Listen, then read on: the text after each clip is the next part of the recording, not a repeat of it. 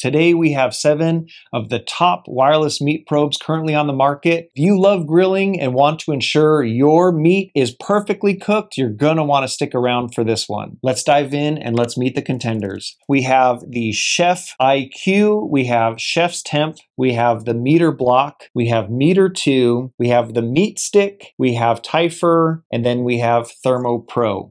All right, so first impressions, this is the Chef IQ, this is the Sense. The case, I really like the design of the case. It has basically this plastic hard shell cover. The charging is USB-C, so you do have rapid charging on here. You have this kind of like mesh right here, and I was like, well, that's kind of weird. Turns out that is actually a speaker, so even if you are not with your phone, it can still guide you through the cook. As far as the probes go, the total length of the probe is going to be four inches. And then probe thickness is 3 sixteenths. All right, next up we have the Chef's Temp. This is their Pro Temp Plus. Some initial things that I like about it, the case can stand upright, but you also do have a magnetic back. You do have USB-C rapid charging, and I do like that you have one charging in the front and then the back opens up. Chef's Temp is the only one on the market that will actually give you different size temperature probes. Not every probe is going to be perfectly ideal for every cooking situation. So the fact that it gives you two different size probes is pretty cool that if you're doing a small steak, you can use the small one. If you're doing a huge large brisket, you can use the big one. For the big probe here, you have a five inch probe. And then for the small one, you're looking at a total length of about four inches. The thicker one is going to be 15 64ths, and then the smaller one is going to be 730 seconds. Next up, we have the Meater block. It gives you four probes, which is going to be the most probes of something that we're going to be reviewing today. You can use this as a standalone, or you can use this with the app.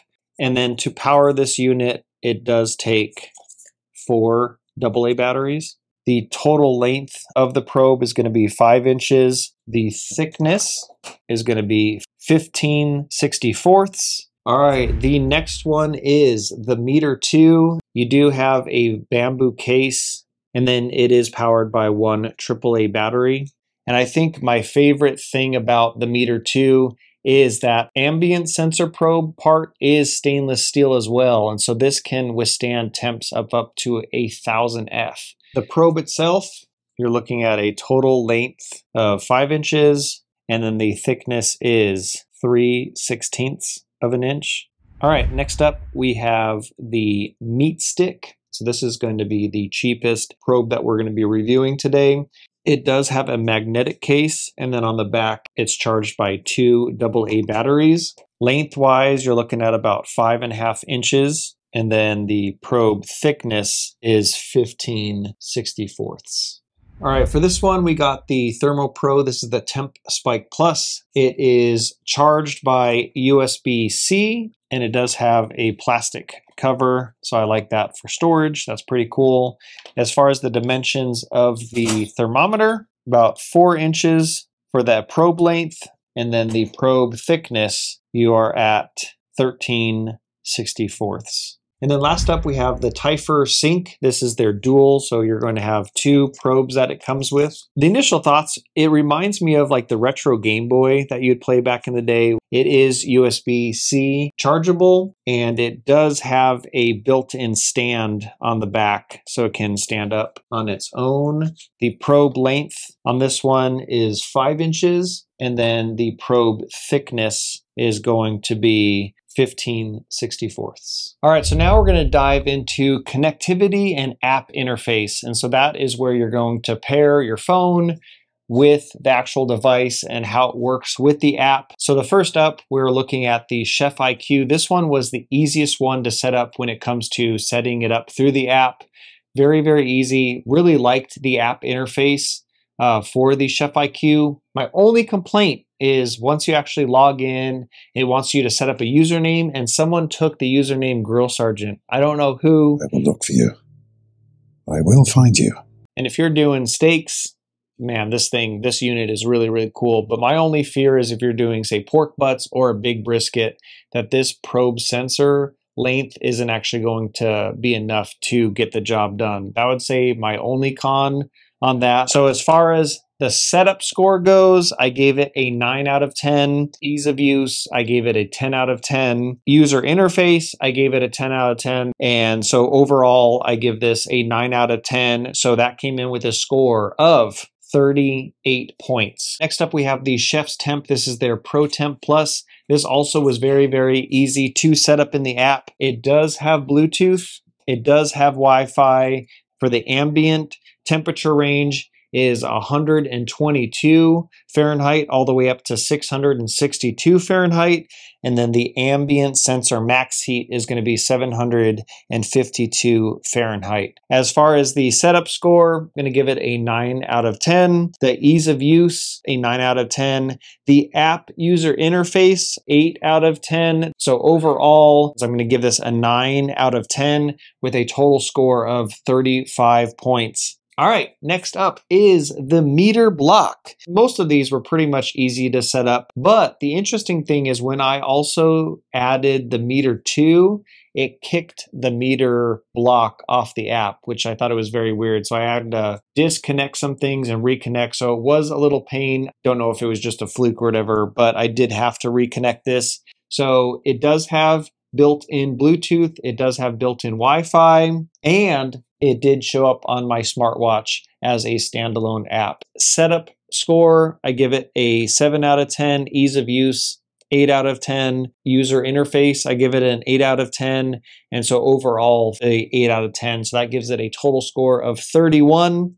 All right, so next up we have the Meater 2. Really, really easy to set up. It has Bluetooth, it has Wi Fi, and then also Meater does show up as a smartwatch app. I really wish that they had different finish options because I actually have the original Meater, and here is pretty much what it looks like.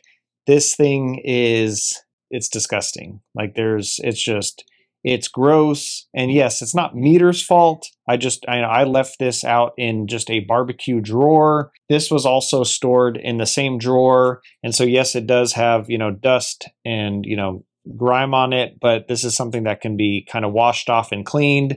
This, I don't think that there is saving it. Setup score, this thing, I'm going to give it a 9. Ease of use, I'm going to give it a 9. App user interface, I'm going to give it an 8 out of 10. And an overall, I'm going to give it a 9 out of 10. So total score on that one's going to be a 35. Next up, we have the Meat Stick. This is the 4X. The app was extremely outdated, somewhat difficult to figure out. A lot of it is like I judge when I'm first using an app based on like what's intuitive and everything kind of felt very um, kind of like where am I supposed to click? How am I supposed to use this thing? Does have Bluetooth, does not have built-in Wi-Fi, but it does give you a smartwatch app. So setup Score on this, I'm going to give it a 7 out of 10. Ease of use, 7 out of 10. User interface, I'm going to give a 5 out of 10. And then overall, I'm going to give it a 6 out of 10. So a total score of 25. Next up, we have the Thermo Pro. This is the Temp Spike Plus. This was the only app that didn't actually require setting up through an email and all that jazz. So that props to you on you just let me use your app and you don't need my information. That being said, the app still was somewhat outdated. It was a little bit better than the Meat Stick, but just a hair better than that. Does it have built in Bluetooth? Yes. Does it have Wi Fi? No. But it also gives you a smartwatch standalone app. So that was pretty cool. So, setup score 9 out of 10. Uh, ease of use 8 out of 10. App user interface 6 out of 10. And overall, I'm going to give this a 7 out of 10. So, with a total score of 30. Last up, we have the Typhur. This was really, really easy to set up with the app. Built in Bluetooth. It does have Wi Fi. It did not give a smartwatch app. The app user interface, uh, I actually wasn't that impressed. To me, Typhur is one of those like kind of high end brands, and so I was kind of expecting a little bit more from from the app. So as far as setup score goes, I'm going to give it a nine out of ten. Ease of use, eight out of ten. User interface, a seven out of ten. So overall, eight out of ten with a score of 32. Once you actually get to your backyard and put these thermometers in your smoker. The most upsetting thing is when you close that smoker lid, it loses connection. So we are going to try it out on three smokers today. Behind me, I have the Pit Boss. We're also going to be doing an offset smoker that has quarter inch steel, and we're going to go all the way up to a SmokinTex, which is one inch insulated. I'm going to be surprised if any of those are going to come through with readings. So now let's test it out.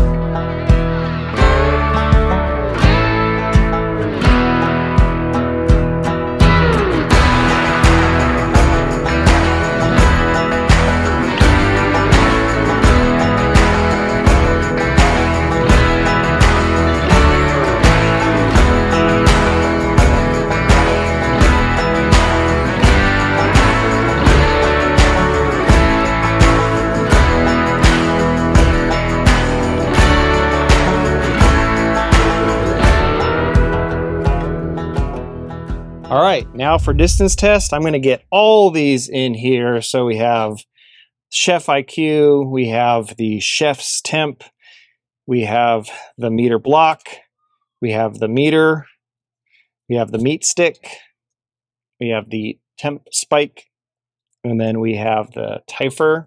And I close this up. Now let's go for a little ride. We're going to drive maybe a few blocks away, and this is really going to kind of test the Wi-Fi capabilities. It is pretty funny on how my phone is kind of blowing up right now with notifications like, oh, this probe got disconnected, this probe got disconnected. So once we get to the park, we'll tune back in and see which connections we still have. All right, we are down by the San Antonio River right now. But now that we're out and about, it's the true test. As far as the Chef IQ, I still have a reading from it. It's still connected to the probe. That one is still working good. Now let me go up to the chef's temp. Chef's temp is still reading. From there, what do we have? The Meater.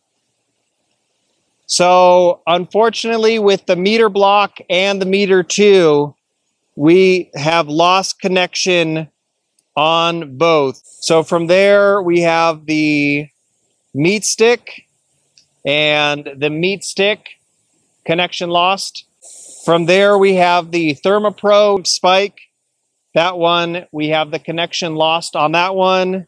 And then the last one is Typhur. And that one, we still have a connection saying it's 81 degrees. So the Chef IQ, the Chef's Temp, and then the Typhur, those ones still held a connection via Wi-Fi with the thickest smoker we have. So now let's go back and let's do a cook. I don't know about y'all, but with all this filming and testing, I worked up an extreme appetite. So to cure that, we have a extremely thick tomahawk and I think it can hold all the probes. It's going to look funny. It's going to look like a porcupine. This is from Disruption Rubs. So I'm just going to lay down the first coat. This is again their all-purpose spicy. We're just going to coat all that around. So next up, we have their beef and more. Nice color on it and whatnot.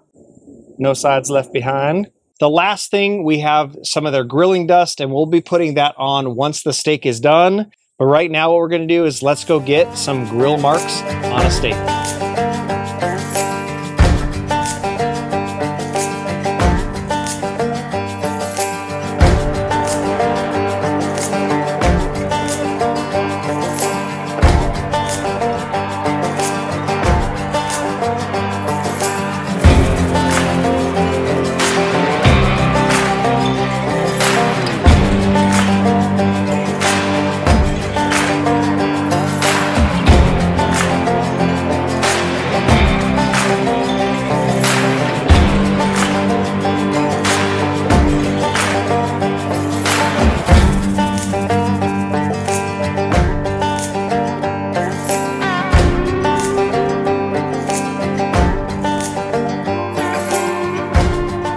So we have our tomahawk here. Looks cooked, not done yet. It looks beautiful though. So now what we're gonna do is start making this thing look like porcupine. So I'm gonna come in here. I have my temperature probes in here. And now what I'm gonna do is just kind of go through and just kind of insert each one. My gosh, look at that. So now let's get this back on the grill and then we will pull it when it's ready. So right now, the smart thermometer from Chef IQ is saying remove from heat. You're at an internal degree of 136. But see, the thing is, that's the issue with having the short probe because the longer probes are actually that get into the center of the steak are saying, actually, we're not at 136. As much as I love the Chef IQ with the thin probe, trust me, thin probe all day long, but since they aren't as long, you're going to, if say you went with that, like I want a beautiful, you know, medium rare steak, you'd cut in and you would be disappointed spending 40 bucks on a tomahawk steak. You'd be like, oh man, it was a little under. Now, 11 minutes later. And now pretty much all of them are going off like, hey, it's time to pull it. So we are going to come in here. We are going to pull it off. Look at that right now. That looks absolutely beautiful. So now what we're going to do is we're going to pull this off. We're going to let the meat rest in here for about 10 minutes uh, so that it can just, you know, get all nice and juicy on the inside. All right, so before we slice in, I'm going to put a little bit of the disruption. This is the grilling dust. And this is just that last little umami kick to it before we actually take a taste test.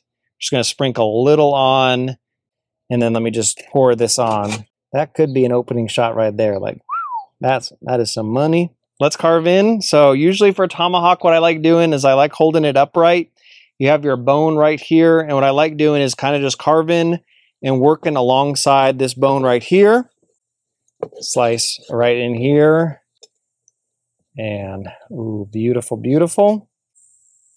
All right, I'm going to bring this in, feed the family, and then what we're going to do is we're going to go upstairs and then I'll tell you my final thoughts. After doing all the tests and after doing the cook, I really narrowed it down to about three, and then I'm going to announce uh, kind of third all the way up to first. So, in third place, uh, in my book, comes the Chef IQ. This was an awesome, awesome unit. The only thing that it felt short is it was about 10 degrees off from all the other temperatures. From there, second place, the Typhur unit. Very, very cool unit. And again, all three of these kept the Wi Fi, kept the long distance, kind of ran through the gauntlet. Overall, this did amazing.